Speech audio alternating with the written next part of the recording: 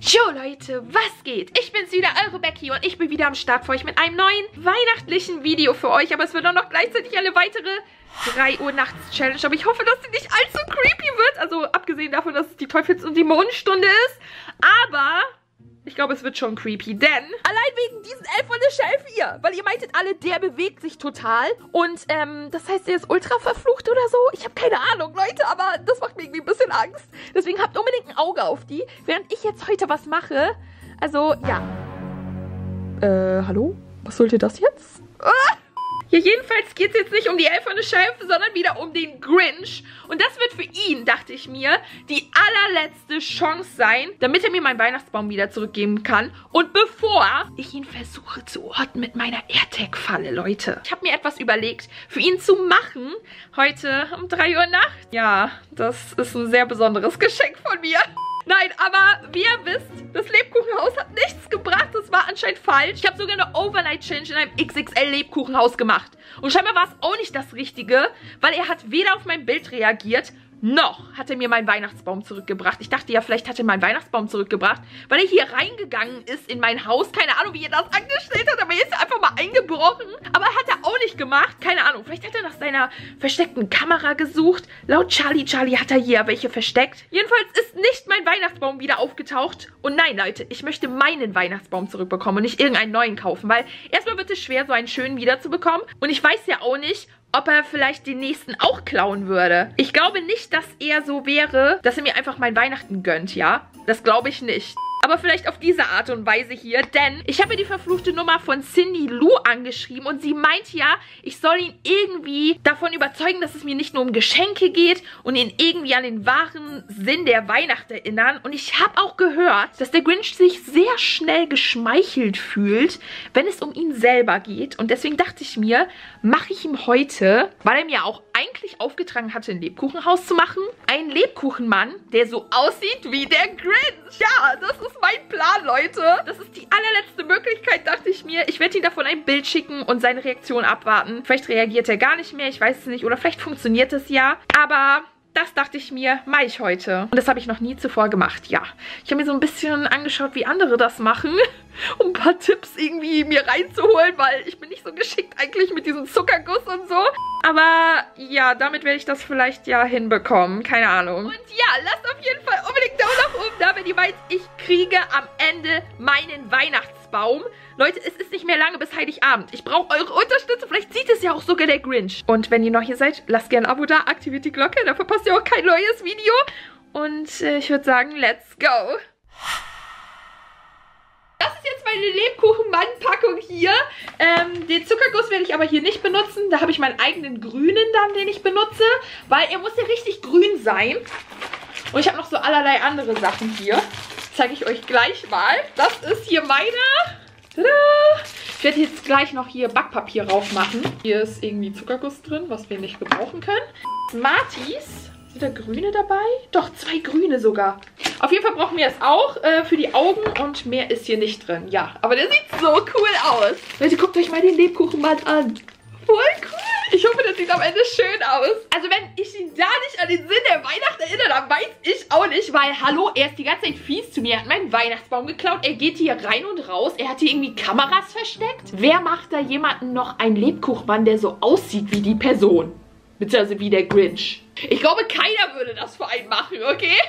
Auf jeden Fall habe ich hier noch so allerlei Streusel geholt die ich vielleicht irgendwie rauf machen könnte, die so auch grün sind und Grinch-mäßig aussehen, damit ich das so ein bisschen verziere.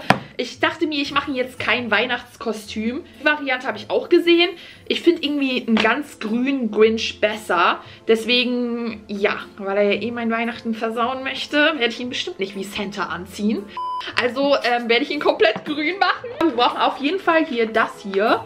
Fondant oder so. Weil er braucht einen fetten Bauch und eine Nase. Ich weiß nicht, ob ich das hinbekomme, Leute. Ich habe mir noch solche Stäbchen hier geholt, um das noch ein bisschen äh, zu verstreichen und schöner aussehen zu lassen. Smarties und ja, das war's eigentlich auch schon. Soweit alles vorbereitet, Leute. Hier ist mein weihnachtliches Backpapier und es passt perfekt einfach mal zum Lebkuchenmann. Zufall? Ich glaube nicht. Ich habe noch nie Fondant benutzt oder wie auch immer das heißt. Ich hoffe, das spreche ich richtig aus. Aber daran allein sieht man, dass ich mich damit nicht auskenne.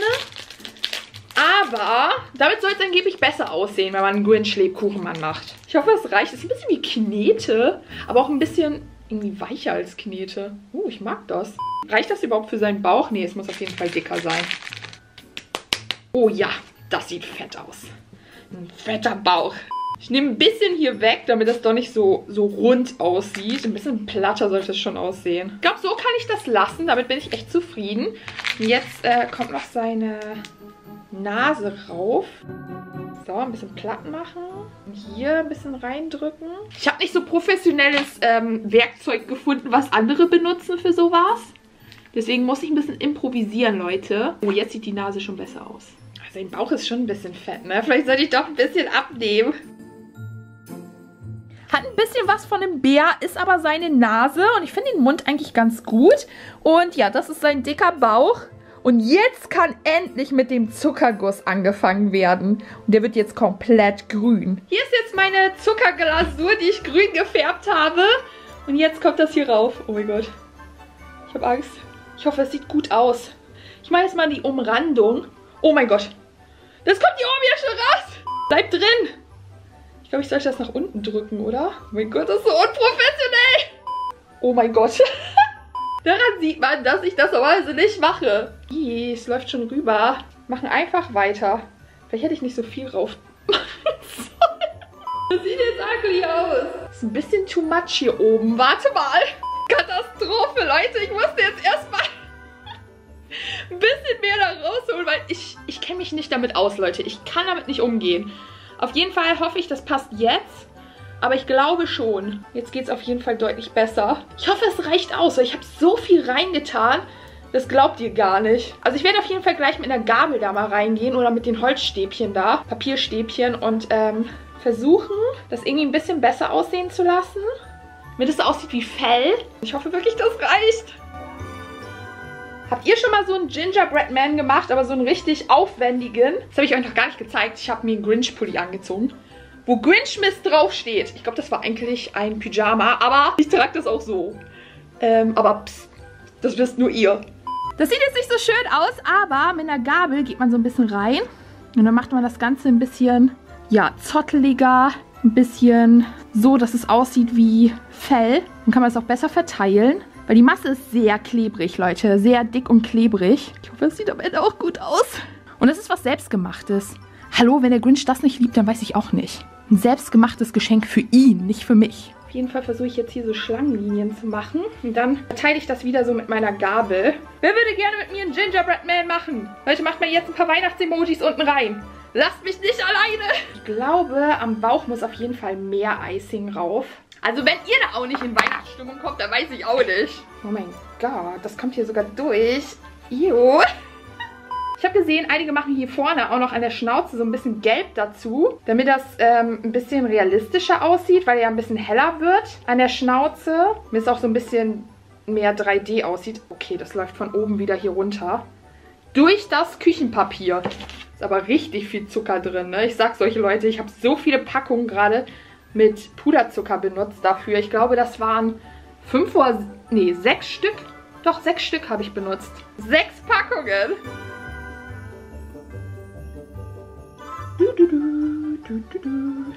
Jetzt sieht man auf jeden Fall seinen weißen Bauch nicht mehr. Ist eigentlich seine Nase irgendwie, ist sie grün oder schwarz? Ich glaube grün, ne?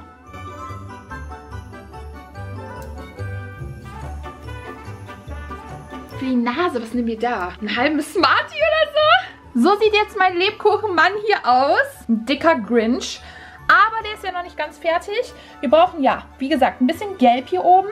Ich habe hier so ein bisschen versucht, Gelb zu mischen, aber unser Gelb hier in Deutschland, die Lebensmittelfarbe, ist irgendwie nicht so intensiv. Ich hoffe, es reicht. Und hier habe ich Weiß noch für die Augen. Es ist zum Glück auch noch nichts Gruseliges passiert, ne? Das ist mir gerade mal so aufgefallen. Was ist los hier? Vielleicht machen wir tatsächlich das Richtige, Leute. Von dem Gelb jetzt hier rauf. Ich glaube, ich habe sowieso ein bisschen zu viel gemacht. Und jetzt sehe ich keinen Unterschied. ich habe jetzt gerade einen Ohrwurm, Leute. Von dem äh, in der Weihnachtsbäckerei-Song. Und genau so fühle ich mich gerade. Werd doch bitte auch so perfekt. Ich glaube, da könnte noch ein bisschen weiß drum. Augen müssen, glaube ich, noch ein bisschen größer. Und jetzt kommt hier so ein bisschen schwarze Lebensmittelfarbe drauf. Auf jeden Fall äh, kommt da auch noch der Mund drunter. Dann arbeiten wir ein bisschen mehr rein. Was ist das überhaupt? Hätte ich das ein bisschen höher machen sollen? Keine Ahnung. Wir brauchen auf jeden Fall doch noch ein paar Smarties. Und zwar machen wir hier einen hin. Für seinen Mund. Und da einen. Ein Happy Grinch hier. Haben wir noch einen Grün für seine Nase.